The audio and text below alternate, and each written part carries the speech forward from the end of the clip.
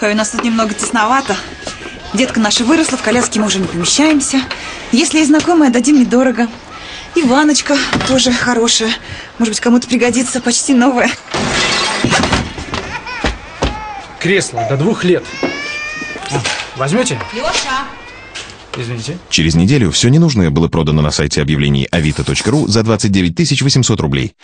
Сколько стоит ваш беспорядок? Узнайте сегодня, разместив объявление на avito.ru.